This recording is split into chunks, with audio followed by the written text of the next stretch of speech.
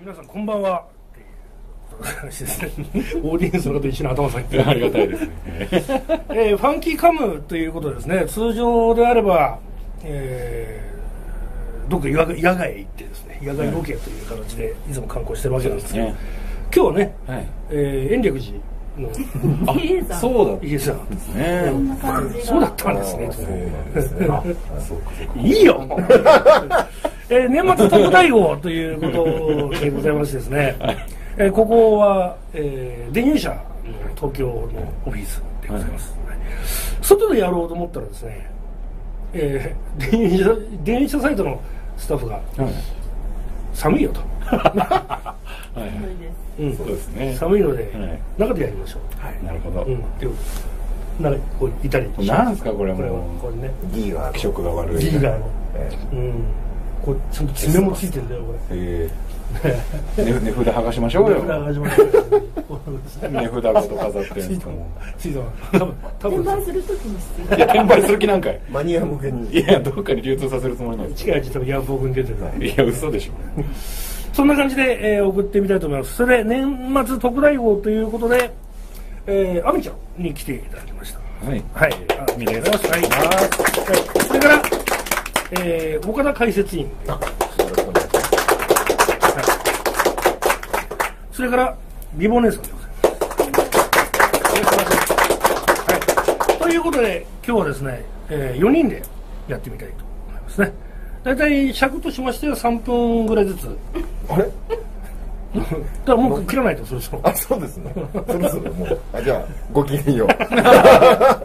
いつものいつもの大体まあまあまあ大体いつもの調子で雑談雑雑談をですねはい。交えながら、うん、こういう話であるとかね不思議な話なんかをやってみたいなと思うわけなんですけど今日もなんかやってたね怪奇特番ね、やってましたね。あうん、やってたやつ。珍しいですよね。珍しいね、ええ。うん、まあ今の時期はね特番がこういろいろおせおせで入ってくるってのは分かんなくはないけどえ何も今やんなったっていい。今やんない。うん、なんかリアルカッパとかやってたよえあそんなのやってたんですね。それ、この辺が砂漠化した人じゃないです違う違う。砂漠かって砂漠かって。あれお水があるから岡田さん砂漠じゃないあそういや違う。カズデラ湖みたいな。はい。オブラートに包んでるようにひどいこと言ってます。よね。そう小さい支笏湖 いやいやもうそんな感じだったんです心霊スポットが死んでる頭にいやもうね。まああの怖い人でもすごかったよ。なんかねへカッパみたいなのがこうちょこちょこっているのよ。えでそこをこうずっとズームしていくじゃない、えするとねヒャッヒャッと泳ぐんだよ水の中泳ぐの？うん。ええあの潜水でヒャッすごい速いのあ面白いなあれあれいいや作りでも面白いからいや えっとえもう最初今のとこピーピーピー入れましょう。今のダメですよ。うんいやあれでもああいうの面白いなと思って夢があっていいなそうですね。そうですね。うんまあ今カメラ持って歩けますからね。そうなんですよね。手軽そうですよね。だから、うんそう、すぐパッと撮れるんねで。だから写真にしても動画にしてもね変なものがねこう撮られやすい状況にあるねそうですね。あるよということで、はいそういった話をして、えーやってみますか。やってみますね。なんかあった？最近。何この振り？なんかありましたか？なんかありますでも。頻繁に心霊体験してるわけじゃないですよね。いやさせたいんだよ俺。なんかこれハマった？ほら でこの間のでもロケハンのさ僕もそうそれを飲んだんですけど。ひどいです。いややってよってことのもんでもないですけどファンキーさんもいたんですけど、ん。ひどかったですねあそこ。あすごい。よねひどかったですね。あれね暖かくなったら行きますよね。あのね奥多摩の方に向かって奥多摩湖の方に向かっていくと、奥多摩湖の手前に、えー直前にもうもうそこ出るとすぐ左側がと奥多摩湖ってトンネルがあるんですよそのトンネルをちょっとこう青梅側に戻って、はい。少し行ったところでねなんでこんなところに何この踏切っていう踏切があるの1個。うん。車が1台ギリギリ。えちっちゃい、うん、ちゃんと遮断機降りるんだよね。はい。でそれをこうゴトゴトゴトって渡っていくと左側がガーってこう谷になってて。でそこから先もう行けませんになってロープがあってあってでそこに車を置いて2人でえ LED の照明を持ってずっとそれ山道上がっていったの。2人でそうなんだ怖かったですよ林に囲まれて。怖かったでしょ。お母さん。お母さん怖かったよ。初めてのお使いいや女がおじちゃんが怖いところに連れて 悪いおじちゃん悪い。おじ悪いおじちゃんが連れて。やかましいよでそれをねずっとこう歩いていくとまあこうぐーっとこうくねくねくねくね行くさ、なんかあれだよな変な石碑みたいなのがあったりするんだよね。なんかはいなんでっていううん。あるでそれをずっと上がっていくと突然右側がポーンと開けるのよ。でその開けたところをこう照明当ててみると、こうなんていうの切り株だけが残ってるんだよねいくつもね。そうですね。林に囲まれてるんですけどそこだけ。こうだからダーッとこう開けてんだよ。でそっちへ、うん、そっちへこう踏み込んでってみると向こう側がドーンと山肌があるわけ、こうねずーっと来てまあ上り調子だからずっとさ、はいはい。とそこからこうずーっと山肌があるんだけどその山肌の中腹になんかあるんだよな。え何ですかうん。ほんでそこにこう照明当てると、えあれ結構大きいよね。でかかったですうん。ね祠がある山肌に、あんま良くない感じです。道の途中とかでもない。そう、あ道の途中じゃないんだ。山肌にポーンとあるいきなりあるんです。はい。ポッてやる感じ？うん、もう本当にだからもう祠がそこにドーンとある。古いよね。古かったですね。うん。ほんでそこに行くためのなんかこう道みたいなもんない。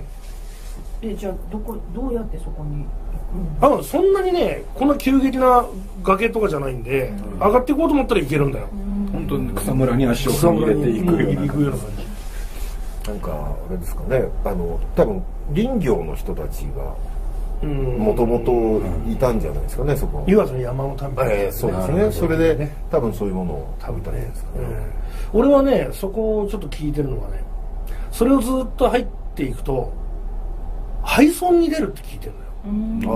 うん。あある集落に。うん。でいまだにその家であるとかねそういったものがそのまんまうんこうこう崩れた形で残っててっていう話を聞いてるのね、はい。うんだけどとってもじゃないんだ。そこから先はちょっと嫌な感じでダメだっていやね無理ですね。道はあるんですか？あるある、あります。うん、暖かくなったらぜひだからだったら。はい。うん。完全装備で。ね。まずは亜美さんにいやもう怖いんですよ。カメラつけて。真っ暗で林に囲まれてて本当に。あのこう暗視ゴーグルをそうですね つけてもらって手配して。手配してえ。つけてもらってじゃないです。みんなで行きましょう。いやなんで一人で行く感じいなんですやその顔 CCD は向けて。いやいやもうこっちベースめこ見てますよ。カメラクルーすらいないじゃないですか見てます見てます。いや CCD のじゃない。人誰？後ろの人誰って言いながら。いやいややめてくださいやめてください。あれだあれだあれだなんすかなんすかどうしました？一人じゃないから。いや一人の方がいいですよ。それだったらそうじゃなくて後ろの人がちゃんとついていや、じゃあだから僕の背後にいつも誰かいるみたいなのやめてください。いないですから。後ろの人そういうところに行くと活性化するからね。いや、違う違う違う。どんどん友達活活性化しようがしまいが、まず後ろにいる時点で嫌なんですよ。ダメですもん。一人で来ましたんで、今日もね。原付に乗って、一人乗りです。なんかすごい原現実付は一人。おまわりさんに呼び止められた呼び止められたことないです。ダメだ後ろに乗っちゃう斜めに戻しちゃダメだよいや、どこに乗るところがあるんです原付のこ。うやって斜め後ろにこうやっあ、ちょっとずつこうやって。後ろの人すごい腕力ですね。いや、そういう話じゃないです。違うんですよ。じゃあそういう、そういう怖いところがあったの話ですから、それは。そうそうて不思議ですねそれ。でもまあその生活の名残なんでしょうねそこは。多分ね多分ちゃんと生活そうに使われたのかもしれない思うんだね。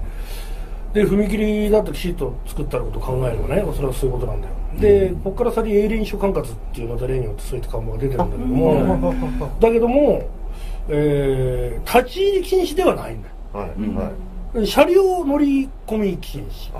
うん乗り入れ禁止になってるってだけでそれでうーんまあそこをねとりあえずざっと取ってちょ戻ろうよって言って戻って、またその踏切をゴトゴトとこう出ていってどはい。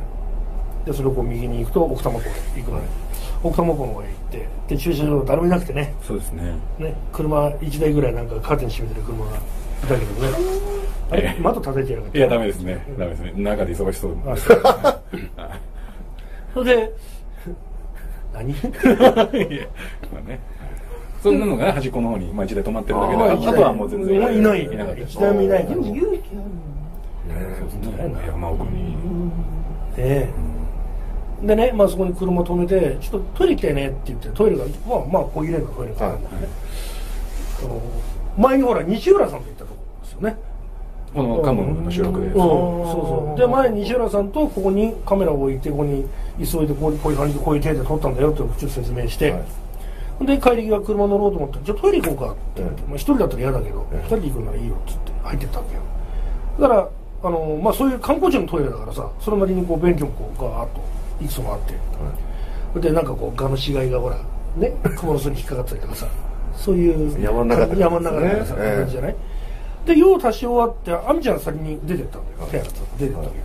で俺がその後ろ追っかけ出ていく感じだったからな、そしたら俺がその、まあ、用を足し終わって手を洗って亜美ちゃんの後ろ姿が見えた時に、俺のすぐ横に左手にあった個室があるのよ。ね、その個室っていうのはなんかあの障害者用のちょっと大きめの個室なんだよね、一番端っことかそこの中から「ヒーヒー」って聞こえたのよ。あの響く感じなんですよ。うん。で聞こえたんだよね。はい「え何今の?」って言ったんだよな。うん僕もがっつり聞こえちゃった、二人で。なんだそれで「え今えこっちから聞こえたよね」ってまた二人で戻ったね。はい、中入って。で戻って「こんなことあったよね」って言ってたらすぐ俺たちのすぐ近くに「へえ」ってまたこれあれ撮っときゃよかったなみたいな。そういうそんなもんだよね。そういう時に限ってね。そうですよすぐ逃げました逃げたねあれはねこれダメだね。これいかんよね。これダメですね、そんな。そこでねうん。だから、えー次の暖かくな暖かくなってからの野外ロケはその山の中の祠の前の広いところ。ね。頑張ってください。やだだから。い や応援してます。いや違うんですよ。一人で行くわけじゃないですからいいやいやいやみんなで行きましょう。僕もです。みんなで。僕ねはいはい。カンナナから出ちゃいけない。いやもうどんなどうなるんだろう出たら。でもちょっとあれですね面白いところですね。そうそうそうちょっと面白いね。特に何かあったわけではないと。思う全然もちろん全然。うんないんだけどね。だけどちょっと変わったところなんで、そこに、えーオットセイの着ぐるみを。何ですか何何のロケなん雰囲ですか？気のある場所に行く意味がなくなる。いやあの歩きにくいと思いやそういう問題じゃないんですよ。ね多分違うと思うんですよ。ちゃんと手ついて OK だから。そういう話じゃないです違うんですはい。はいこういう感じでこうそのその VTR 見たらちょっっと面白いですね。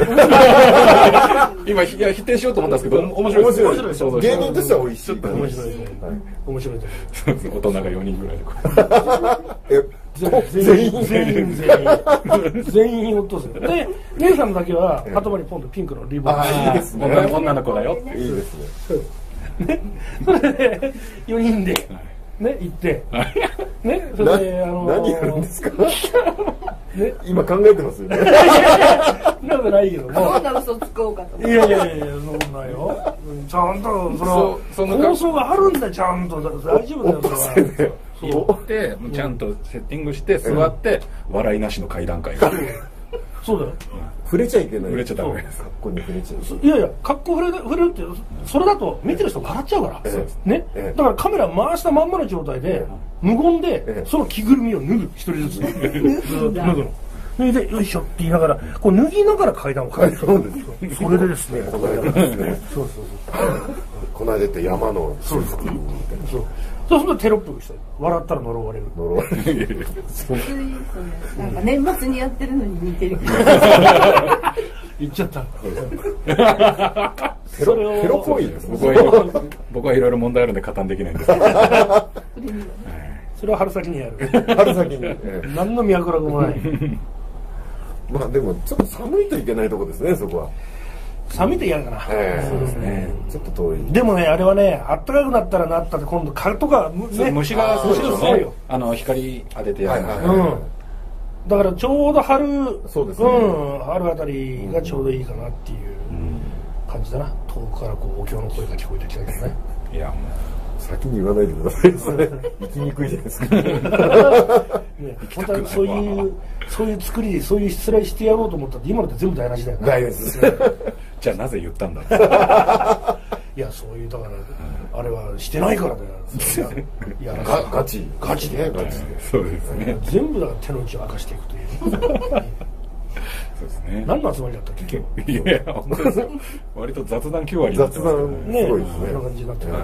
まあでもね本当にちょっと面白いところがあるんですよ。だから前にも言ったと思うんだけども、えー見てる人の中でもねこんなとこありますよ。ああそうですね。うん。こういうところいいですよっていうところをぜひ教えていただければ行ってみたいなと思いまそうですすね。うん。ただねその6個の山の中とかそういうのもあのそうですね。ちょっときついい移動可能な範囲で。移動可能な、そうですね。極力ねなんかなんか喧騒の音とか入らないようなところの方がありがたいです、ね、難しいんだよそれがうん。そうね人がいないとこ、うん。車があんまり通らないとこ。そうですね。ねいろんな雑音が入らないとこそうですね。まあある意味いろんな雑音が入ったりもするわけ。やめてください本当にああそうですよね。だってあれだってこの間メッセージ来たよ俺。前前に俺亜美ちゃんとやったあの黒山さんたちのさあ言っちゃったの ピー入れましょう、ね、はい。いいのか言ってもあだダメなんだよね。えいいだダメだよ。僕に聞かないでくださいでそこで撮ったやつもほらなんか音がずっとはい聞聞こえてたじゃないなんか。あピー。撮れちゃってたんですか？ピーってと撮れてたんだよね？あれもね。うわあマジか、ーへえそれでそれが何なのって、うんななんでこなんだろうねこの音って言ってて休憩時間に、うん。このですね怪談バカの2人がですねそれを確認しに行ったんだよ。行ったのこのい2人や有能なスタッフさん。すごいなんでよく行くよねと思うんだよ、えだから俺たちがこう語ってたところの後ろはい。にお地蔵さんがあったでしょ、ねお地蔵さんのちょっと後ろにね公衆トイレがあるえそのトイレがね。ええ。すごいんだよ。もう行きたくなないすごい行きたくなかったすごいよ。すごい。もうね俺はそこで用足してるんだけどね、はい。大きいやつを。ーはいなんだけど。どっちどっちでもいいです。うん。詳細にはいいそう行っただけでいい。ですバスバス。っと。あ大丈夫 効果音大丈夫です。あそう。今 P を。ピーだと ピーだともっとややこしいことになる。何を言ってるんですか？もっとダメだでそこはねはい。照明がないのよ。だから、うんだから用足しに行く人は懐中電灯持ってかないと。そう電気ですよね。つかないそうそう。だから懐中電灯こうこう超えたままかあああもっとあったでしょやり方で 下手にこう口が緩むこうパーンみたいな、ええいやいやいや。どこで話膨らまし何を？まあ。ところが来るうん。た ちょっとあのもう助けてください。これはもう。大変です大変だよ。大変ですよ今日。すごいんだから。さっき担々麺辛いの食べちゃった。ああそうですね。辛いのも効いちゃってもうエンジンかかってきたんですよ。エンジン。ね3000回転だよそうすると多分気がするそろそろガスをかかり始めるまあそれでね、うん。もう僕ら僕らがいる現場自体がもう奥の奥の方だったんですよ、はい細い道を上がって、うん。そのさらに奥だからもうさらに暗いんですよ、ん。もうすごい嫌なところで行きたくないよと。本当にね街灯の類が全くないのよ。でこう俺たちの左側には、まあ、ちょちょこっとした藪があってその藪の向こうが藪っていうんじゃないよな。く草っぱらってるんでしょ。もうそうですねちょっと背の高い。その向こう側がすぐちょっとこうぐーっと谷になって。る、そんなに低い低い谷じゃないんだよ。川が流れてる、だから温泉に常にこうサラサラサラサラサラっていうそうですね。水の音が入ってる感じなんだけど、うん。なんだけどその音に混じってこう「えーっていうさ甲高い人の声みたいなのがさ聞こえてるわけよ。でオーディエンスの人たちにも聞こえてるのよそれがさ、ええ。あれ聞いてたんだよな一緒に来てたのにな聞いてたんだよそしたら「なんだろうね」って言ってた。の、ええそその休憩時間に俺階段バカ2人が見に行って、ええ確認しに行ったのよ、えそしたら「いやファンキーさんやばいですよ、何が？やばいですよ」って何が、ええって言ったら、さっきの音の正体が判明しました、うん。詳しくはウェブでよろしく 今言いましょうよ。気になってしょうがない。ものすごい気になってるんですけど。いやいやでもねまあそれはここであのやってもらっても実際その鳥の回を見てもらった方が面白いと思うんだけども分かりましたっていうのよ、ええ。で何だったって言ったらねその例のその照明のついてないトイレの中の1個だけある個室があるのよ、ね、俺が用を足した、こうバリバリって、うん。それ大丈夫です。そこの扉が開いたり閉まったりするとえ？そうなんですよ。結構厚みありますよ。うん。もうそうそう。あと単純にさっきも言ったんですけど僕らがいる現場を通らないとそこのトイレ行けない行けない。だから風でなんか動かないもちろんもちろん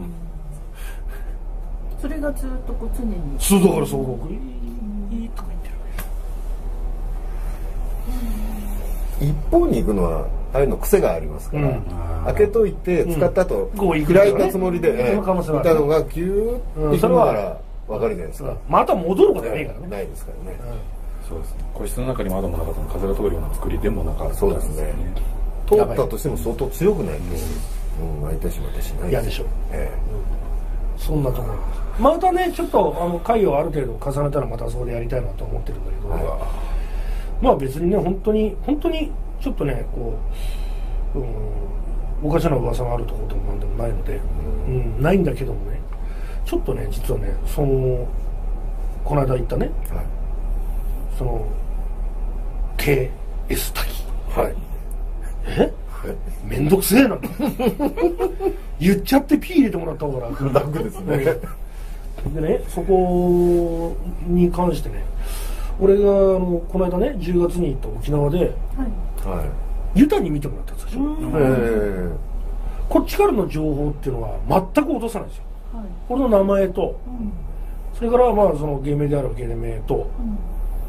だけかな、うん。そしたらね天狗に何かなぞられたところへ行ってますねっていう。でそこでそこでね本当はそっから先へもっと踏み込まなくちゃいけないところへ行かないで帰ってきてるって。でうん。それはね一回ちゃんとそこの奥まで行ってことをなした方がいいですって言われたのよ。うん。お最初なんだか分からなかったわけ、うんさそこのね奥に天狗滝ってのがあるの。ようんあそこから上に。で俺が自分で一人でロケに入ってる時ちょっと気持ち悪くて昼間だったんだけどね。だけど人もいないしちょっとここから先一人じゃ行けねえなっていう感じで行かなかった。のでそのロケの日も行ってない。この階段ばっか二人がでもそこに行く行くといいことが。うん。なんかうんうん。呼ばれてるっていう。うん、そこでそのなすべきことを最後までなしてきなさいっていうようなって言われたの。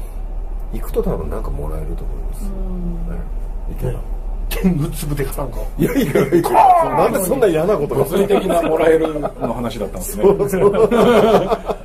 え え。もらうというか食らうという。そう食らう感じで。態度が天狗になって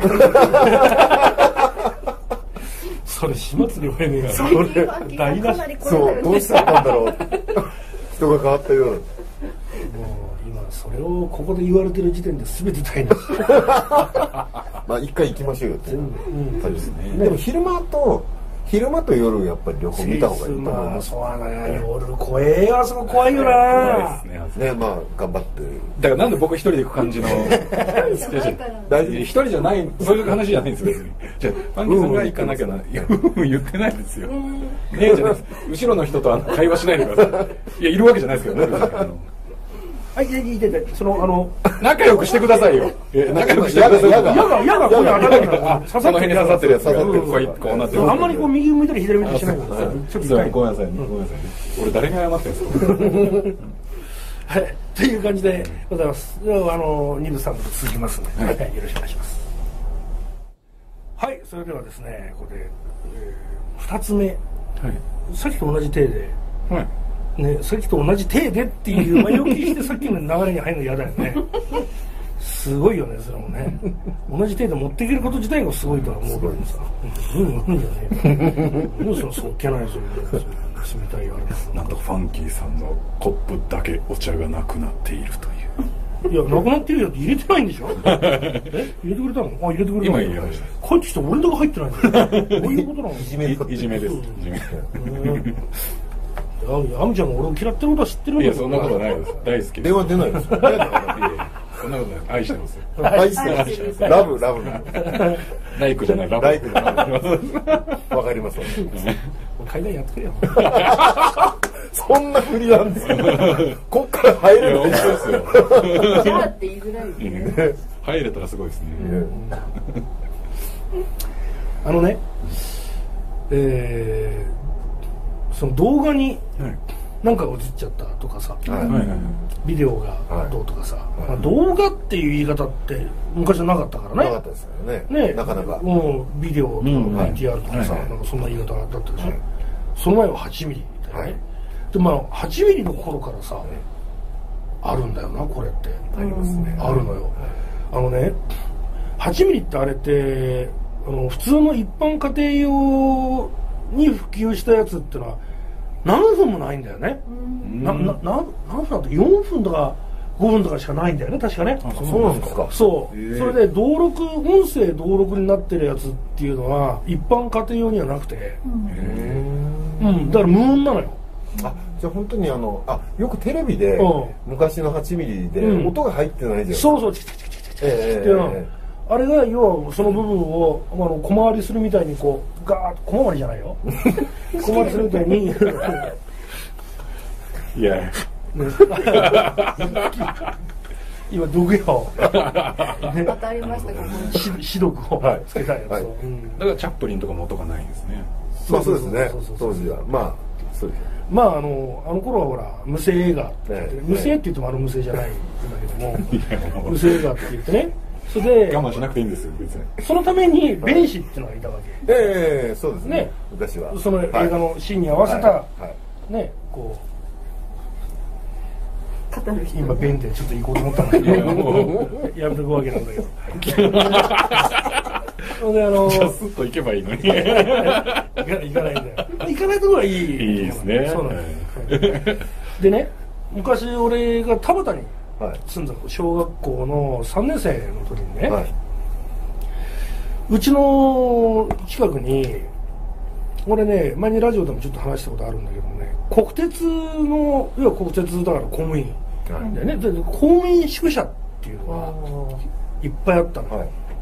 その中のある一軒の家があってね、はい。でその俺はその頃よく俺が遊びに行ってた家なんだけどもそこの親父さんがねたまにあのーまあ今でいうとこの JRF と昔でいうとこの国鉄貨物だかな、の機関車の運転手だったのよ、はいはいうん。はい EF13 ってね、ええそういうものだ、今あのてっちゃんたち茶釜茶釜って言ってたからね、うん。あのほら機関車のことを釜っていうのよね、で茶色い釜のこと茶釜っていうんだけどそれのもう前にこうデッキがこうドンとこう飛び出したタイプのもう本当昔のクラシカルのやつだよそれの運転手だったわけよ、で俺たちよくその僕の機関区なんかに行ってそれをこう整備してる最中中乗っけてもらったりしてたである日ね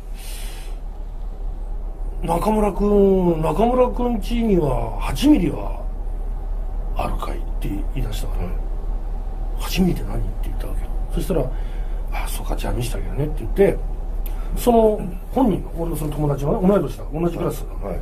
やつの小さかった頃からなんか正直言って見たかった そうでしょ？まあそうですね、ね、こんなちんちくりの頃のさ、ええ、のやつを永遠と見せるんだ、え、これはね拷問に近い。拷問です、ね、うん、音も何にもない。からって言ってる真っ暗の部屋で、で何本も何本も見せてうわまた来たと思って、子供ながらに思って見てたらねあれと思ったの、っていうのはねその彼が畳のある部屋の多分そこの家じゃないんだね。多分ね、どっかの親戚の家かなんかなんだろうけども畳のある割と広めの部屋の真ん中で積み木かなんかでこうこうべちゃんと座ってさこう遊んでるシーンなんだけど。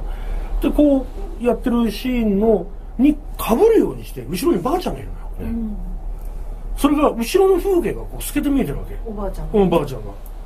でやつがここにいるから、おおって呼んでであれはえそれその子王くんって言うんだよね。あれ王くんのばあちゃんって言ったのね。あれねえお父さんお父さんって呼んでるわけよ、お父さんお父さんって。でどうした？ここから、子供たちに見せるだけど本人いねえんだからささね、でどうした？ってガーッと開けるじゃない、と明るい光がパッと入ってくるよね、でその瞬間にその投影してるスクリーンに光がこうバーンと当たるから、斜めに半分バーッと見える、ね、そしたらその斜めに半分見えなくなったんだけどもこれちょっと嫌あの難しい変な言い方なんだけど、はい見えなくなったってことは明るくなってるんだはいよっていう。ことはい。なんだよ、はい。明るくなってるところにばあちゃんが立ってるのよ。ええ。リアルに。ガーッとね、その戸後ろの戸をガーッと開けて「どうした?」って言って暗幕が張ってあるんで「どうした?」ふっとこうそれをめくったわけだ、おじさんがね。めくるとそっちから明かりが入ってくる、それがドーンと斜めにドーンと切るようにドーンと白くなる。そこにばあちゃんがいるのよ、こうやって。こっち向いているわけ。座ってんのこっちの部屋の隅に角角に、でうわーっと思って、ほんでそのおじさんがそしたらその王君がね「お父さんあれあれちょっとお父さん今明るく見えない見えない見えない」って言ってるうちにカラカラカラカラカラカラカラカラカラって終わっちゃったわけ、はい。君が、それで「どうした?」って話して「いや今なんかおばあちゃんがどうの」ってこう言言ってんだけど「えよくわかんねえな」え「じゃあもう一回見てみようかどうの」って言ってるうちにみもうこう見たらもうそのばあちゃんリリアルばあちゃんもういなくなってたんだよ。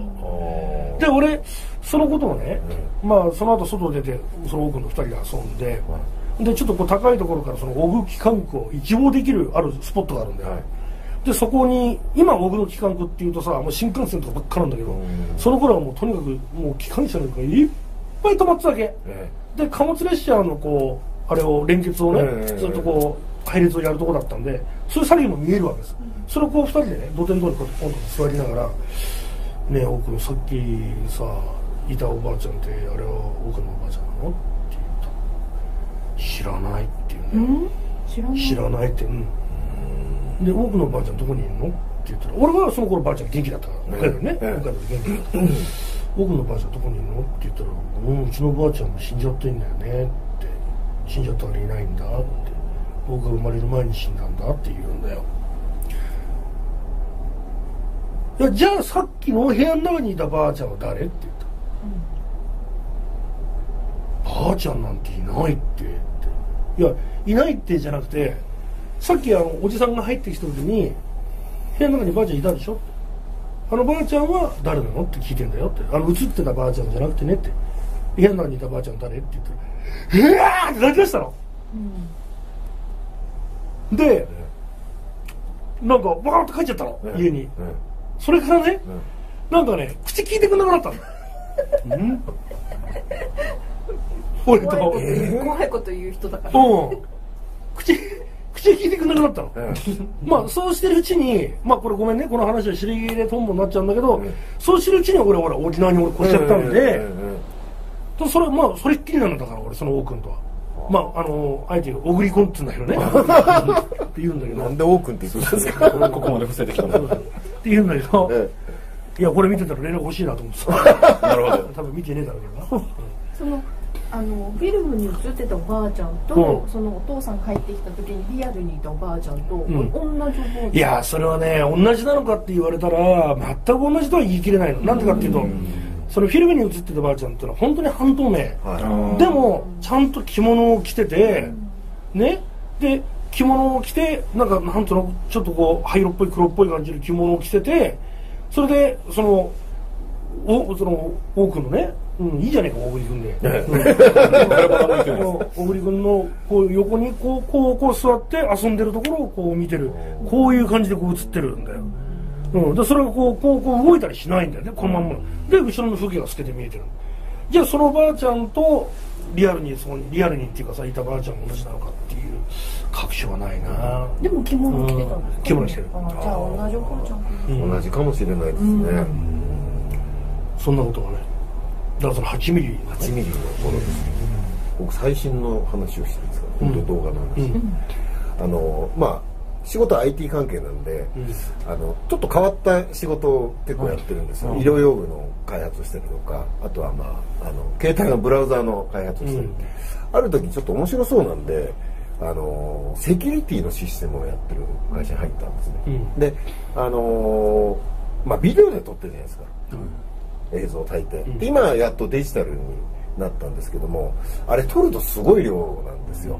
あのずーっと24時間バッチリ撮っちゃうと、ん。それでタイムラプスって言ってよくあのコマ送りのありますよね、1秒に1枚ぐらいずつ撮る。あ,、れタイムラプスって言って、ああいう撮り方をするんですよ。それでえー貯めていくってだからビデオテープ1本で1週間とか、うん。あの昔は撮れてたんですね、うん。であれあの最近強盗に入るとあのデッキごと持ってかれたりっていらしいよね。えそれであのデジタルのやつを開発し開発してでちょっと面白い機能を入れてたんですよ。こう人を認識する。ってい。う、うん。でまあまだちょっと路地の頭に入ってるんですけども人が入ってきたら撮り始める、ん。でその前から10コマぐらい撮ると。で当時のパソコンですと、まあ、秒間10フレームぐらいしか撮れないんですよ、うん。テレビとか映画だと25フレームとかうん撮れるんですけど、まあ10フレームでもタイムラプスなんか全然数が取れるんですよ、でサーバーにどんどん落としていってで秒間10枚ぐらいずつ。でまあちょっとお化けの出る会社だったんでー。で会社中に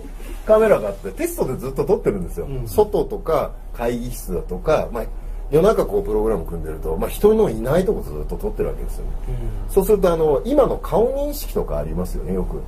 変なとこ顔認識しちゃって。る、あるカメラだけあのやたらにデータ取れてるんですよ、おかしいなと。これもうバグだと思ってまずカメラの設定見に行ったんですよね、それでカメラがこうやってやって反応をこうやって見るとあれ手こうやってやったぐらいで反応しないんですよ、やっぱり大体人のぐらいのがこう入ってこないと反応しないんで、でおかしいなと思って。で大体時間帯が決まってるんですよ。夜中に大体動いてるから、あこれ分かったと。あの輝度とかも見てるんで多分高速がそう走ってたんで、夜中にトラックとか走るんでそれの明かりが多分、まあ、角度で拾って撮ってるんだろうなと思ってフィルムみたいに一動画で再生した時にある程度のところで止めてコマ送りでまあデジタルデータなんで1枚ずつこうやって見えるんです、であれもう映ってないなと思ってバーッと送っててそのうちあこれやっぱおかしいと。もう一回プログラム見直そうと思ってマウスカチャカチャカチャってやったんですよ。ただパッとなんか映ってたんですよ、あれなんか映ってると思ってこうやって戻したらあのー色はなんかグリーンとか紫とかこうよくあのノイズ見たく見える人で、もうあの苦しんでる顔の男の顔が1枚だけ入ってるんですよ、でそれ以外は何に反応して撮れてるかわからないんですけども、夜中の2時前後1時間ぐらいたっぷり毎日動画が入ってるっていうことがありまして、僕もわかんないんですよ。自分のプログラムで取り込んでやってるんでボードのあの制御とかも全部自分の組んだものでやってたんで、それがノイズかなんかっていうのを見たんですけども、そこに物があるんですよ。データを見ると物があるっていうデータになってるんですよ。だから何があったのかなまあよそこのビル自体はちょっと不思議なことが随分あったんですけど、だからデジタルでそれ映ったんで本当にびっくりしたんですけど。不思議だね。不思議です一コマだけたまたま見つけたあの日本各地にあるさ、よくあの特に田舎なんか行くとまあまあもちろん都内なんかもあるけどさ、道路の上にこうカメラがあるじゃん。あります。N システムとか、はいあのオービスとかじゃなくて、普通の街頭カメラありますうん、街頭カメラがあるじゃない、特にあの田舎の方に行くとね峠のこうなんていうの？入り口のあたりだとかさなんかがあるんだよな、福島県だったかな？なんか東北の方のある割とこう豪雪地帯のね峠の入り口のところに一本そういったカメラがあるのよ、ね、そのカメラがその要は峠側をこう映してるんだよな。峠側っていうかその山側っていうのかな、を映してる。そんなに遠方まで映るわけじゃないんだけどもそうだね距離にすると 100m ぐらいまで見えるのかな。それがまず24時間ずっと映してるわけだよね冬のもう雪が積もってる。だけどその日は、ね、雪が降ってないんだけど周りは真っ白になってる状態なんだけどもそこにね、ある時間帯からボーっと何か出てくるんだよ、ね。ボー出てくるんだよ。それだんだん形になってって1時間ぐらいかけて女の形になるのね。すっごいゆっくり。うん。女の形になってしかもそれはっきりだよ。はっきりと空中にしかもねに本当にそれが当たり前の縮尺で言うと3メーターも4メーターもあるよ大きいの。でそれがぬぼーっと立つのよ。わーっと立つのそのまんまね4時間ぐらいずっと動かないとそのまんまいるの。でまた少しずつ薄れてって完全に消えてなくなるんだよ。だからね俺前にもなんかでさ話したことあるんだけどね。その幽霊が出る幽霊を見たっていうもの自体が本当に人間的な意志を持ったものだけだとは限らないよな、うん。そうですね。うん俺あれはだってもしね最初に形作り作られかけてるところ通ったって多分誰も気づかないだろうなと思う感じなんだよ。ガスガスか。そうそうそう。ガスってるのかなっていう感じですよね。リアルにねあれを見たとすればかなり恐ろしいもんだと思うけどねあれはね。だって道路からうわーって立ち上がってんだもん。あ道路から？そう。それでもううわーって背が高いのでもちろんなんていうの？長いとかいうことなんてでかいの。ボーンって。で3メーターってすごい大きいですよね。ねえ。あっこ和田さんぐらいあるからね。でももうちょっとちっちゃいあそう。うん。2メーター50いやねえよ 何を言ってるんだよ。私がね行ったので前にもお話ししたと思うんですけれどもあのビデオ屋さんにアルバイトしてた子がいてね静岡の方なんだけど、であのアルバイトって最初だとやっぱりあの夜中もやるでしょ？あれ、うんうん。ねうんビデオ屋さんって24時間やってて。で夜になるとあのガタってなんか物が落ちる音がするんですって、でやっぱりほらそれ戸棚に整理しに行かなきゃいけないから、行こうとすると時間をパッて見てもう2人ぐらいで勤務してるとね。もう1人の人が時間を見て「あいいよ行かなくて」って言うんですってうん。それやっぱ夜中の2時とか3時ぐらいにね「いやいいよ行かなくて」って「いやでも気になるじゃないですか、うん。でも今ガタガタって落としましたから」って。お客さんが落としちゃったにしてもやっぱり店員さんこうね整理しに行かなきゃいけないから、じゃあ「いや行きます」って言ったら「あそうまあ行くなら行ってもいいけど」みたいな感じなんですって、うん。で行くとあのやっぱりあるところの棚のビデオが落ちてるらしいの。うんでそれ直してでそういうことが毎晩毎晩あるんですって。でそんな毎日毎晩なんだ。う毎日その時間に夜勤で入ってるわけじゃないんだけど自分がそのその時間にシフトに入ると大体その時間になると落ち落ちる。でそれがあの例の大人の男性向けのビデオのコーナーあるじゃないですか。そこに入るなんか狭いところを通って奥なんだってお店の奥。でもそこのある棚のそのビデオだけが落ちちゃう。で、ある時になんであそこばっかり落ちるんでしょうね？って最初はお客さんがこう見てて落っことしちゃうとか帰った後になんかこうちょっとグラグラってしてて落っちゃうとかっていうふうに思ってたんだけどあまりにも同じところの棚の？ビデオだけが落ちるんで何があったんですか？って聞いたらそのうちに行かなくていいよって言うんですって。そしたらそこのあのビデオのコーナー上のところにあのその防犯用のビデオが店内にあるん。ですよねでお店の本当にこうなん。ていうの天井のところにこうお店を映すとこういう形で置いてあるん。ですってであまりにもそのビデオが夜中の時間にパタッと落ちるん。でその時にどうなってるのかを防犯をある時に見たん。ですって店長その場でそしたらその音がする時にその防犯カメラのところに逆さを向いた。女の人。がこう上か。らこうって出てきたんですええ逆さ吊りの女の人がーって降りてきたか。ないや証拠が残るって嫌ですやだねでも基本的にこんな上に逆さで出てくるか。ら、うんどんだけ天井か。ら出てくるそう、アクロバティックなんやねんみたいな、いやそこですか。あそうえ亀の子縛りになってたりいやーいやいやいやいや。そういうんでもい。や違います違います確認しないでください。共犯にしないでください。こう。あれですよねこうやって。だカメラの設定でこういう設定はできるんですよ。あの、んセキュリティのカメラって、ね。うん逆にこう逆さにつけたりするマウンターつける箇所が一箇所なん。で,、でそれが狂ってるんであれば逆さに映ってる可能性あるんですけど背景がちゃんと映ってれば、間違いなく上から出てますよ。で逆にしてもそこまでこう伸び上がってきてるってことですよね、それまた気持ち悪いよね。それはそれで気持ち悪いよ怖いですよねそれはそれで気持ち悪いと思う、うん。話をまあ、随分あるみたいですよね。あるよカメラは。随分あるんで、うんまあ無視してるみたいですねもう、うんそう。いちいちそれ反応してるとどうしようもないんで、カメラこの間そのまあ僕まあ、こうやって喋ってる以外の時に「まあ、ありがとう」っていうコンビでお笑いライブもまあ出てるわけなんですけどそこにまあどういたしまして。あありがとうですね。ありがとう。というコンビでやってるんですけどね。まあそそのライブをねあの見に来てくださるお客さんであのカップルの方がいらっしゃるんですけど、うん。あのまあ、彼氏さんが多分大学生ぐらい1920歳ぐらいなんでしょうけど、うん。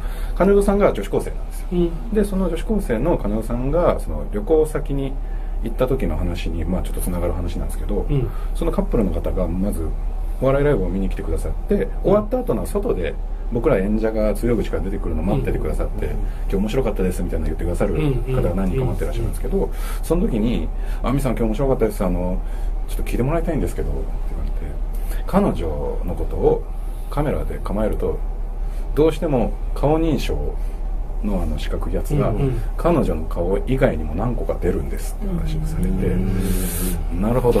と思って、まあ、ちょっと詳しく話を聞こうと思ったら遡ってみるともう何何ヶ月か前に彼女さんが女友達と旅行に行かれた時に旅行先からそのテレビ電話をかけてくれたらしいんです。よ、んで今日今こんな綺麗な海岸沿いにいるんですよっつってこのパッて自分のアップが映って後ろに綺麗な海が映ってるんです、はい。で綺麗な海が映っててその喋ってる後ろで何人かまあ友達らしき若い子がわーって途中そのこの日からにょなんか顔出したりとかもしてるんですけど、まあ、テレビ電話なんであんまり画像がいいものではないんで、どんな顔かぐらいまでは分かんなかったらしいんですよでああ盛り上がってんなと思いながら喋ってたらそうそう友達紹介するねって言って画面をポチンって押すと確かカメラが内側から外側に切り替わるんですよね。一瞬でパッて外側カメラに切り替わった時に友達がそこに3人座ってるのが見えたんですでその座座ってる友達に向けて今あの彼氏と電話つながってるからみたいなこと言ったら友達がただ座ってたんですけどわーって急にテンション上げてあのなんか遊んでます楽しいですみたいなことを言ってパッて画面戻してうんじゃあこんな感じだからっていう話をしたんですけど外側カメラに切り替えた時に3人座ってたんですうんでその時おかしいなって思ったのが4人で旅行に行くって言ってたんでじゃあ後ろでこの覗き込んでた人たちって誰なんだろうなって思ってたんですけどそんな気にしてなかったんですけどそれを最近その顔認証がいっぱい出ることが最近よくあるんでもしかしたらその時にその海岸で何かを拾ってきちゃったんじゃないでしょうかという話を最近伺いました。うん。そうだよな。後ろに顔認証出るっつったら一言じゃねえもんな。だから、いやもうどこで言おうかなと思いますちょっと待ってください。僕は一人です。僕は今日原付で来ました。いやそれ原付気持ちをなんでそんなことしたの一人乗りですから、それは。顔認証大体あのあのまあ平面でしか取れないんですよ。ソフトウェアですから。ー。データとしては平面でしか取れないんですけど、あの人の顔の認証ってここの目のラインと縦の鼻のラインと、はい。あと輝度であの立体かどうかって見るんです。ですからあのあんまりミスないですよね今の顔認証って。それがあの10年前ぐらいにそれでイギリスあたりではあのそれこそ街頭カメラでずーっと撮ってる中から手配者を拾うとかってもうそういうソフトウェアあったんですよ。イギリスはすごいからね外国カメラね。うんでそういうソフトかますんですって。ううん。ん。でそういう技術が今一般に降りてきてるんでそれでテロリストの今捕まってるんですよ。それぐらい精度の高いものすごいがですね。10年ぐらい前にもあって、うん。それの技術が今応用でこういう小さいものでも昔は本当に PC でがっつりやらないとんダメなぐらいなものだったんですけども、今はもう携帯ぐらいで動くんですね。すごいよね。だから相当高い精度では取れるはずなんですよ、うん。でもそれ気になるね。それが、ってなるとなおさら怖いですね。ねうん。どうしどうしたらいいですかねって言われて、僕、何とも言えなかったんですけど。いや僕も僕もです。そうそういや、僕もですじゃないです。同じですよ。いや、同じじゃ、同じじゃない。違いますね。気が合う、そういう話で気が、気は合わないですよ。いや mixi にコミュありますいやいやいや、そうそう。後ろに何人かいる人いるいらない、いらないです。ね。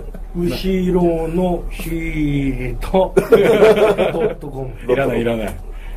いいなそれ。いやよくよ。くないです。よくないですよ。とんでもない人たちの集まりですよ。いろんな危ないやつがいっぱい集まってる ケイ君とか。テレビ電話。怖いですね、だから。テレビ電話に映っちゃう。ねえ、はい、そんな話なんだけど、まあ、カメラの話、ちょっと最後に、はい。もう一個だけちょっとしとこうかな、ずっとこのカメラで引っ張るつもりもないんだけどさ、はい。俺の友達がね、えー北関東某所にある、えーコンクリートプラント？の、はい。セメントプラントっていうのかな、はいうん、セメントプラントで所長やってたやつがいるんですよ。もう今もう辞めたんだけどね。でそいつの会社っていうのはもう割とその広大な土地にセメントだけじゃなくてアスファルトなんかも一緒にやってる、これねでもこれ言うと割と限定されてくるんだけどさ、はい。でアスファルトなんかも一緒にやってるもんだからもうとにかく普段ダンプとかトラックの出入りが半端じゃないわけなんだよだからそれなりにその場内での事故をとにかく減少させようっていうことでね、はいはい。コンプライアンスの問題もあるし、安全第一を掲げて、でもうとにかくその場内カメラが半端ないわけいろんなところにいっぱいついてるわけだよそれでそこっていうのはその夜勤なんかでアスファルトなんかは夜勤もやるからコンクリートはやらないけどねセメントはやらないけど、そうそうそうそうそう。あのアスファルトやってるでしょいつもし、そうですね。だからそのアスファルトのプラントっていうのは24時間動いてる、だからその交代制でその夜勤に回らなくちゃいけない、はいはい。じゃあその中でその所長であるそいつも例外ではなくて、やっぱり月に何回かそれは回ってくるわけなんだよ、でねある一つの部屋に入ると壁一面に昔でいうこのあの白黒のさあ角の周りのモニターが。が。バーッとブラウン管のねがええバーッとあってでそこにその分かりやすい不調で例えば A の27 B の35とかあってそのカメラの位置とそれが見た分かる人場内の人は分かるようにどこの部分をと撮ってるよっていうのは全部こうダーッとこう一覧があるわけなのそれを見てる。んだそしたらねある頃からかその一番右えっとね一番右さん確かに一番右の一番角にある上にある一つのそのモニターがたまにこうこうジャジャジャジャジャっとなったりとかこうプッとこう消えちゃったりまたついたりとかっていうことがこう度重なることが気づいたんだって、あれ調子悪いなあれとどこ映ってるやつだと思ったの。でどこにもそれが例えば A の X とかってどこにも書いてないわけですよ、これあでも確かに映ってるんだよな。これどこだと思ったのって、でねそいつがねこうそれに気づいたって。あれ屋内だよなと。うん。え廊下？えどこの廊下なんだあれってあれ俺ここ入って随分経つけどもあんなもの映してるカメラあったかなって思ったんだって、それでねまあそんなことがあってそれをまあその朝来て人間に引き継ぐって言ってもいや何も映ってないですよ。ってまあそこだけ映ってなかったりするんだって。その時に限ってね、おかしいんだ。夜見ると映ってたなとおかしいなってでそのうちに「いや気のせいですよ」って見ながら半分言われるようになっちゃったんで、ええ。自分でもなるべくその気にしないようにしてたと、でいつもいつもそのモニターずっと見てるわけじゃないんでね、別にね、だからその普通の当たり前にたあの伝票を運転手に渡したりとかっていう作業もあるんでそれをやるために事務所にほとんどいるわけなんだよ。でたまにそっち側の部屋へ行ってっていうのは給湯室があるんだ。その給湯室ののすぐ隣なもんだからそのモニターがバーッとついてるとどうしてもそこでコーヒーなんか入れる時にこう気になるからこう見るんだところに、はい。うん。でその時に見るとやっぱりその右の角がまだついてるんだって。でこう見てみたらね一人の男が向こうからすごい勢いでもちろん音は聞こえないんだよ、うんバタバタバタバタって走ってきてカメラの下をバタバタバタバタバタバタバタバタバタバタバタバタバタって行ったり来たりしたのずっと、えねあれおいあれなんだ？と思った時に、うん。たまたま自分馴染みの運転手がうん。来たんでうん「え皆さんココーヒーでもどうぞ」って言って入ってきたの、ん。だから「おおありがとうありがとう。おちょちょちょちょっと来いちょっと来いよ」って呼んで「何すか?」と「ちょちょちょちょちょっと見てくれ。ちょっと見てくれ」って言ってみたら二人で見たって、う。ん。本当にそれななんか誰か走ってますねこれどこですか？これ、うんいやそれどこだかわかんねえいやわかんねえっておかしいじゃないですか、だってこんなのどっかでしょうよって。だよなえおかしいなどっかだよなこれどこだろうなどうだろうなって言って二人でねそれはそれはさ俺これバカだなと思ったんだけどさ、運転手巻き込んでさ二人で探しに行ったって気になって。気になって。だけどその画面を見る限りではちゃんと照明がついてる。明かりがついてる割と長い廊下なんだなんだけどそんなたあの建物で電気がついてる建屋なんかどこにもないんだよその時間帯。おかしいなわけわかんないなとそれいいですか？俺もそろそろ。ってあ悪い悪い悪い悪いね。足止め暮らし悪かった悪かったって言ってその彼はずっと帰っちゃった、ねで次の日になってそれが気になったもんだから朝の引き継ぎの人間にまたそれを言ったんだ、そしたらね「またっすか?」って「うん。だ見てください俺まだついてないですよそこはつかないんですってあそこは」って言って「いやんなことねえよお前。昨日はダンプのダラダラで一緒に見たんだから」って「本当ですか?」って言ってたんだって。でその日のその次の日も自分がたまたまその2連チャンで夜勤が入ってるんでうん。その日朝帰って家で休んでえそまた夕方出てきてで夜勤に着くわけじゃない、その時に昼間の人間との引きずりがあるじゃない、うんその時にねその朝自分が引き継いだその昼間の人間が自分に対してこういうのって「所長やっぱり所長ダメですよ。やっぱり所長間違いですよ」何がよ?」って「いやあのモニターの。おお俺なんか分かった？か?」ちょっと来てください」連れて行かれて、うん、裏見たら配線抜いたええー、でその長いその廊下っていうのはずっと分からずじゃない。それを知るうちにまあ結局そいつはちょっと体調崩して、ね、うん、その仕事はね今辞めて自分でちょっと商売やってるけどね今ね。うん。そんなこと言ってたよ、うん、だから電源はもちろんその画像なんか出るわけもない、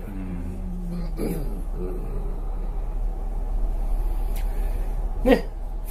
いやねって言われても、やっぱちょっと物理的に何か作用何かものが落ちるとか、その電源入ってまあ亜美さんもそういうの話ありましたよね。電源入ってないのに映るとかね、それは怖いですよね。さあ怖いから一旦これ区切ろうか。はい、はい、それからはい、えー、それでは第3弾目ということですね、えー、さっきねカメラ止まってるのにあのねって話し出したんですよ。いや 本当ですよねなんか。じゃあここまでって一旦切り終わってすぐに話し始める。親父ギャグばっかり収録されて、うん、階段喋って無口な人になっちゃうんですね。休憩中に全部喋っちゃうそうそうそうそう。ね。うん、ぜひそれを。お願いします、は いあのある工事現場の方から聞いたんですけれども、うん、大きい現場だとなんかトラックのゲートが 大弾ゲートあるある。あるでそのあるゲートを封鎖したっていう話なんですけど、うん、なんでって言ったらそこの、えーと、ゲートのさっきも言ってましたけどコンクリって夜張るんですよね、うん、じゃないとそこを歩いたりとかできなくなっちゃって固まるまでに一昼夜とかかかるんで、最後にそうしてでみんな帰るわけですよ。で朝来たらそのコンクリあの張ったっていうんですか？引いたっていうか職人さん怒ってるんですよ「誰だよ!」って言って。でもうほら後期って決まってるからもうみんな真剣にやってるのに足跡がついてるっていうんですよ男の人の。でだ誰だよここにこんなふざけてこんな足跡つけやがってって怒ってるんですって。またこれ初っていうか、ねあの壊してまたやり直さなきゃいけないじゃないかって言って怒ってる。でそこの現場だけ何回も何回も同じようにそこに足跡が残ってるんです、朝になる、でそれがそのゲートが決まっててそこのゲートから出入りしたそのコンクリミキサー車っていうんですか、うん、それに限定してるらしいんですよ。でそのいろいろ事故とか起きるのもその同じゲートって決まり出したんですって、うん、そのね、1年とかかけて工事ってしていくんで、うん、だんだんそれが分かってきてそこのゲートを閉じたっていう。原因は分かんないんですよ。何があったかは分からないんですけどそういう話を聞いたあとさっきのあのビデオつながりっていうかねそれはちょっと違う話なんですけど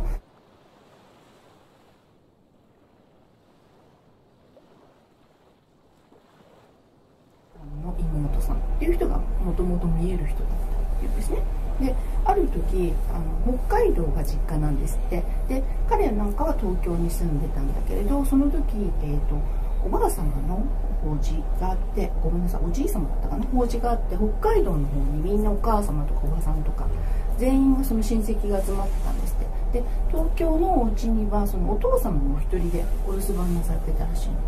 そしたらまあ法事でいろいろこうねあの北海道でこうガタガタ親戚投資化していたらそのおばさんが「大変」って東京のそのおじさんとかお父さんが倒れたって言うんですって。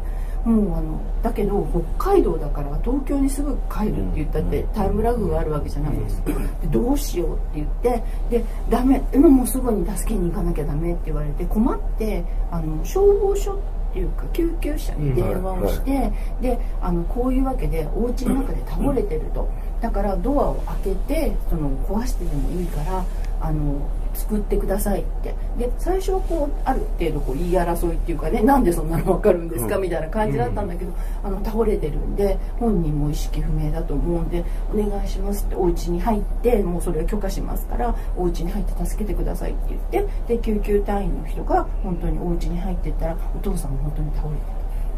であの2時間遅くてももうダメだっただろうだから危機一髪そのおばさんのおかげで助かったんですって。でそういうことがあってそのお母さんはその妹さんのことを命の恩人だっていうふうに思ってたんですって。でところがそのおば様っていう方が、えーと、お嬢さんがいらしたんだけどお嬢様もこの間嫁がれてでまあ安心なさったのかどうかあのわからないですけどそのおばさんが亡くなったんですって。でそのお嬢さんと電話でお母さんが話してる時にあって思ってそういえばその生前あのそのおばさんがあの映っている動画があると。で写真って今ねもう気軽にたくさん撮るけど、はいはい、なかなか動画ってないじゃないですか。それもこう声が入ってるとやっぱりこうね残ってる人たちって嬉しいですそういうのを見たり。でそういえばあれがあったはずよってうちに。でそしたらそのジョブさんも亡くなったお母さんのそういう動画見たい。ぜひぜひじゃあそれ発見したらうちに送ってって言われたんですって。でそれ玉内さんのうちにあるんでちょっとあなたあのねそういうおばさんの動画が欲しいってお嬢さんが言ってるからあの見つけて送って差し上げてちょうだいって言われたんですって。でいいよって言ったもののあのね 動画っていうかテープが2000本ぐらいあるんです彼のうちだからちょうど大変だなと思ってこう座敷であぐらをかいてでそこでこう一応あのなんかこうねデータだけはこう書いてあるので、はい、こう探してたけど2,000本もあるからそんな容易に探しきれない、うん、で「おい」って奥さんを呼んでちょっとあのおばさんの動画を探すの手伝ってくれよって言ってで「いいわよ」って言ってで彼はこう座ってそれを探しててで後ろで奥さんもこう見てたらしいんですよ。そしたらある時パッと気が付いたら急にね無音になった感じがしたんですって。なんかほら空気がさっと変わるみたいな、ありますよね。あれ？って思ってその後ろに立ってる奥さんの息遣いも聞こえないんですって。で変だなと思ってパッて見たらもう奥さんの足が。ところがその、えーと、こうやって見ると手が奥さんの手が見えるんだけど手を見た瞬間にあ奥さんの手じゃないって思ったんですって。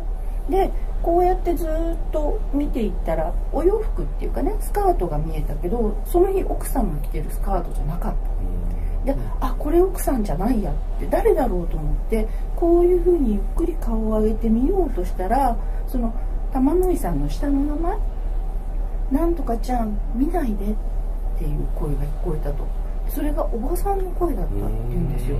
あおばさんだって思って見ないでって言われたから顔を見ずにふって顔を戻したら目の前にそのおばさんのあの探してた USB がポンって置いてあったんですって。でああおばさんだって思ったらその瞬間に音がバーって戻ってきて奥さんもちゃんと後ろにいたであこんなところに探してたおばさんのあったよって言ってでやっぱりこう差し込んでその記録を見てみたらその時着てたお洋服と同じ姿でおばさんが映ってたってうんいい話。ですそれはちょっといい話ですね。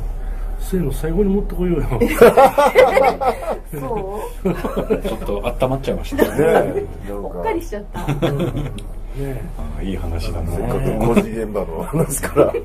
一転して、ねちょっとハートウォーミング。ですよね今週はこの辺で。また来週なんですかね。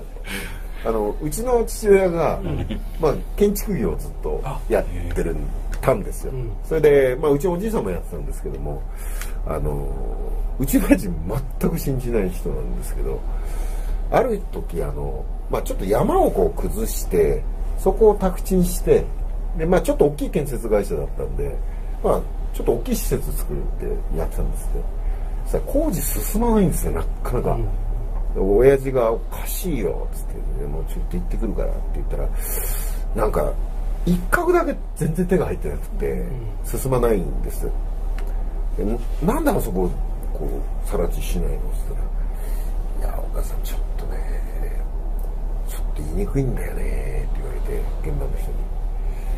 なんでだってブルドーザーもあるしパンショベルも入れてるし、まあ、レンタルなんでもう毎日毎日すごいお金かかるわけですよ、もうあんなのやれ半日だろっつってやってくれよって言ったら「いやちょっとやってもいいんだけどさどうしたの?」って言ったら「いやなんかねここにいるさ」っつって「おちょっと」って呼ぶんですよ。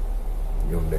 まあ重機扱う人3人ぐらいいていやみんなさ岡田さん経験してんだけどさガーッとこう動作を入れる。パワーショベルでガザッてやると。そうするとうわーって声聞こえるんです、男の人のうわーって声が聞こえて怖くてできない、だからちょっとあそこだけ手つかずなんだそんなことあんの？って言ったら、いやもう、悪いやれって言われたらもう、悪いけど、まあ下請けどね、うちできないって言われて、でそこ抜けられちゃうと困るんで、しょうがないんで、あの、お祓いに来てもらったんですね。だそれから出なくなったんですよ。ただ、特にそこ何かあったわけじゃないんですよ。全然何も出てこないし、ちょっと深めに掘ってみたんですって、何かあったのかなって、あと元何あったのって言ったらいや本当にこう山になってたのをこうやって落としたんですよ、切り崩したわけだからまあ要はその山の神だろうな。まあそうでしょうね、うん。土地神様。ギャーって声なんですって、男の、うわーっていうもうその叫び声がなんで、やめろってことだよな。最初引いちゃったんだと思ったんですって、でびっくりして止めてみてもいないしこうやって数えたら全員いるし、あれおかしいな。そしてそれ一日何回も聞くわけですよ、で変だな変だなと思ったらやっぱり勇気出た人間がみん。なおかしいって知ってるから、なんかさ声聞こえないみたいな話すると、いやそうだよなって話でちょっと気持ち悪いねっていう話になったらしいですね。なるほどね。俺そのブルドーザーの話でね思い出したんだけど昔俺が初めて土建をね俺に教えてくれた藤原さんっていう社長がいるのよ、でその人ってねもうすもうすごい何つったらいいのかなちょっとやぼったい言い方すると猛者なんだよ。本当にね。土建屋さんですね。うん。えもうただねすごく男気のある人で、えでそのダンプ云々からねそのブルーの乗り方からその免許を取らせてくれたのもそうだったしそのユンボの乗り方からなんから全てを俺に教えてくれてペイローダーからなんから教えてくれた人だったの。でその人がね俺にとにかく俺自分でその会社をやるっていうことでとにかく教えてくれっていうことを教わりに行ってたから、ブルーになとにかく乗るためにはまずはそれバカ押しを覚えろと。バカ押しっていうのは普通で引き鳴らしって言ってね、はい。ちっちゃいブルで例えば砂利か砂利かなんかをきれいに引き鳴らしていくっていう方法はまだまだ後だと、とにかくそのブルでかいブルを使って大量のね土砂をいっぺんにバカ押しって言ってガーッと押していくことを覚え覚えろと。はい。言って教えてくれたわけ、でねそれはどういうところだったかっていうとねある山の中へずっと入っていくんだよ。するとこうひときわこうぐーっとこう上りになってるところをポン登ると上が台地になってて、でそこにこう、まあ、北海道だからこう火山灰地なんだよね、ある程度ね、はい。でそれをこうずっと進んでいくといきなりそこからドーンとこう切り立って崖になってるんですよ。で向こう側がこうすごい深い谷底になっててはるか下の方になんかその小川が流れてるのが見えるわけ、でもその川まではかなり距離があるんだけどね、でそこにその残土って言ってね他のところどっか掘削した泥をダンプに乗せて持ってくるから。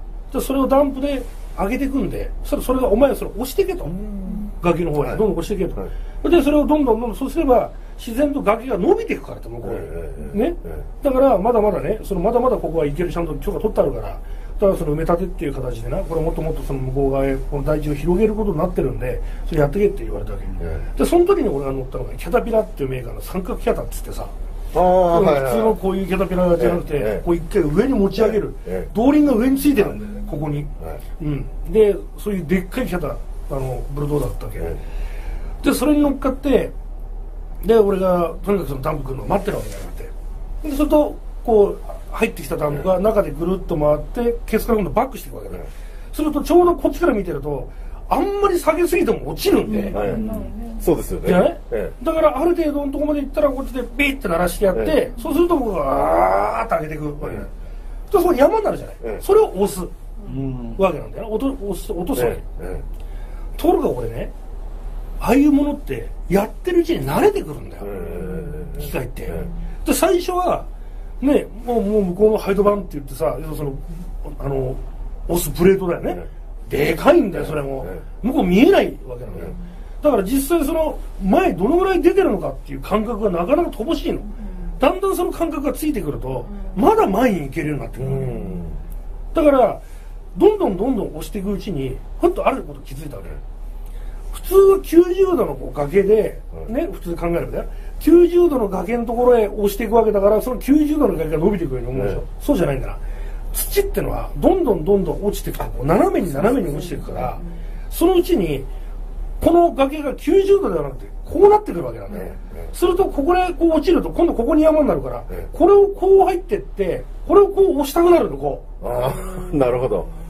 はいはいはそうするとこれがもう今度どんどんどんどんこう伸びていくから、え一旦ここへ来たやつがここへ今度ブルがドンとここへ降りてでここへ押していくわけ。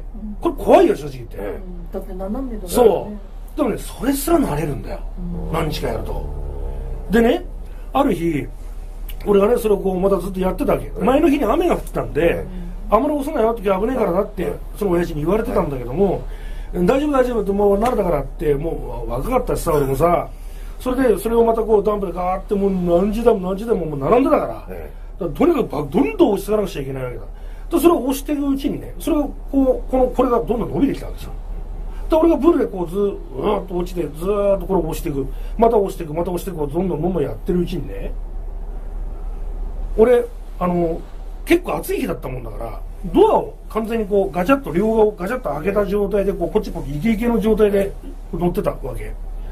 そしたらねそのあーってエンジンの音に混じってあーあーってなんか誰か叫んでる声がするんだよ。でおおびっくりしたと思ってほんでドンってブレーキあのブレーキって2つあるんだよ、両足と右と左にブレーキがあるんだけどブレーキを両足をグッと踏んだ踏んだままこう見たのよ、後ろええ。そしたらちょうどその崖の上のところに一人おじさんがいるのね、それがねすごいみすぼらしい格好してんだよ、あのねまるでねあのこれはねその表現的にこれがいいのかどうかね合ってるのかどうかわからないんだけどもまるでね本当にそのアイヌの民族衣装みたいなああ着物っていうか着着物物じゃないっていうっていうかもうあれをもうごめんなさい俺あのあアイヌ民族衣装のことあれなんていうのかをねよく俺自分でもわからないんだけどそんなのをね着てここにこう鉢巻きっていうかこう頭にこうはいはい。巻き物をしたさ人が立って背の低いおじさんが立ってる真っ黒に焼けた人が立ってるわ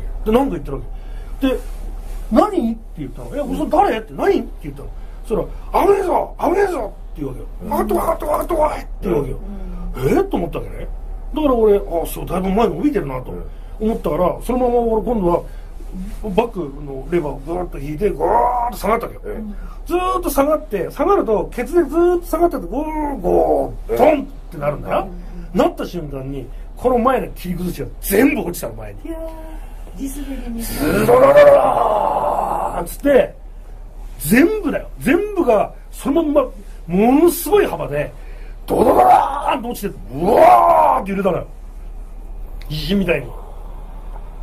それでうわー落ちたーと思ってこっちまだキャタピラーのさ3分の1ぐらい出てんだから崖側に。はいはいはいやばいやばいやばいってとにかくもうね、うんアクセル全開にしてうんガーッとバックしてでまともなところまで平らなところまで行っていやー危なかったと思って俺言おうと思ってバーッと降りてった。ら誰もいないんだよな。誰もいないの硬さが違いますからね。で雨降ってん。重くなって自分でこうやってそうそうそう固めてるわけじゃないですからね。そうその人誰だったんでしょえ場所はどこあのね場所にするとね、えー、と札幌から真駒内っていう方へ入って、で真駒内から俺がよく話する支笏湖っていうね、支笏湖線っていうのがあるんだよ。その支笏湖の方にずっと向かってった途中左側の山の中に入ってったと思うんでね、うんじゃあまあアイヌさんの土地だそうだね、うん。そうだね。ねまだ。うん。この辺は。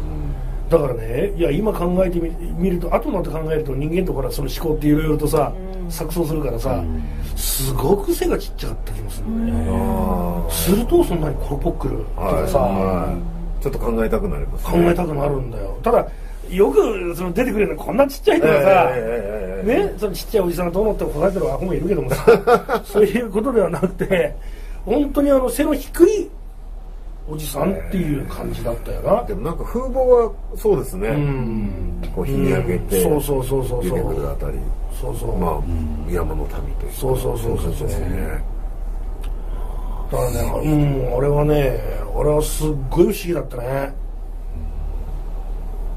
北海道はまだなんかそういうの生きてる感じするんですそうだよねねそうだね。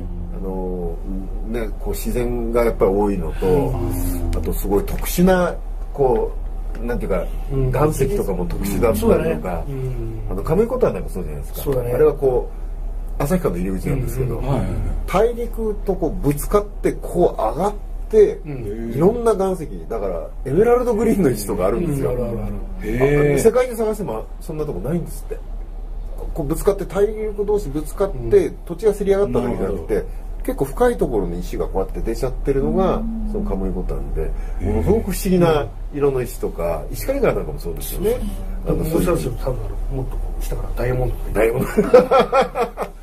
もうい言ってください。いやそれは行きたいです。確かにそれは。川底70メートルあるそうですからその。いやきついな。半端ないよな。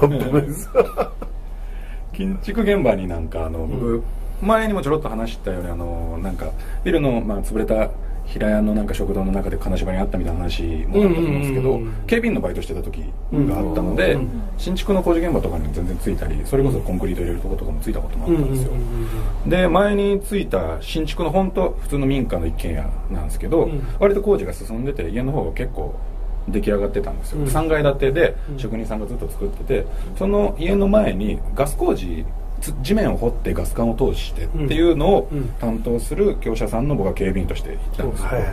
なんでそのガス工事して穴を掘ってるところの横にずっと立ってで僕ともう2人ぐらいいてそこが細い路地だったんで他の車が入ってこないように通行止めをうん。もう2人がしに行ってたんです。ってなった時にでまあ暇なんですよ言っても、通行止めしてるから車も入ってこないし、うん。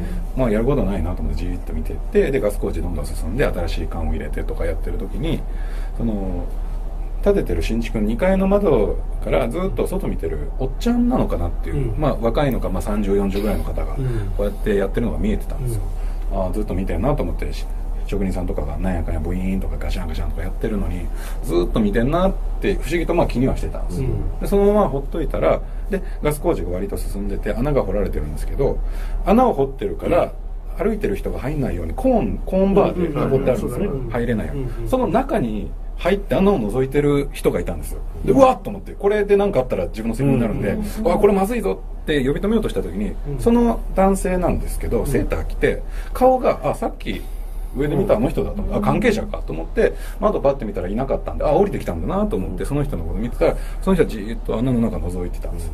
でああじゃあよかった。なんかその家主の人かわかんないですし、職人さんの関係の方かわかんないですけどセーターですげえラフな格好でいるなぐらいに思って注意をしなかったです、でそのうちほっといたら姿が見えなくなったなと思って。そしたらそのうちに飛びの人とか職人さんがもうその鍵とか閉めて道具も運んでガス工事より先に作業終わっちゃったんですよ、で全部あのハイエースに道具とか乗っけて、ブーンって出ていかれてちょっと苦し暗くなるぐらいの時にでもその窓からそのおじさんが顔出してるのが見えたんですよ。うん。あれ？と思って。1階の鍵閉めてたんで、いやこれおかしいな。もう家主さんがもうすでに住んでるのかなぐらいに思ってたんですけど、そう考えてもどう考えてもおかしいよななんて思ってる時にちょうどガス工事の方も終わりになってじゃあ終わりになりますって警備員さんもお疲れ様でしたっつってその通行止めをしてる2人も、うん。まあ、戻ってきたんです、その通行止めの看板背負ってでお疲れ様でしたってなった時にその1人の警備員さんっていうのが後に僕にその、まあ、何本か階段を語ってくれる警備員さんの仲間なんですけどその方が、まあ、この一軒家指さしながら「ここダメだよな」えっつったら「ここいや死んでるよ人が」って言われて「マジっすか?」ってどんな人なんですかねいやわかんないよね多分死んでるよねっていう話をなさっててもしかしたらだから僕がその見た人がそうなのかなと思ってパッて見た時にそのおっさんの姿はなかったんですよ、ただその部屋の奥で白い光が揺れてるのだけが見えてたのでもしかしたら本当に亡くなった方が今もずっとそこにいるのかなというそんな家にね新しくこの春から誰か入居するんじゃないか マンションなの？いやそれは新宿の3階建ての一軒家でへー。5年6年ぐらい前の話ですねじゃあそれが立つ前にその何があった多分更地になる前の何かの時になってでそれが、えー季節的に春前ぐらいだったんで、あそうかここにこの春から誰か入るのかと思いながら まあしょうがないか都内そんなもんかと思いながら帰りました。たまんないよなでもなそれってな本当にな。そうですね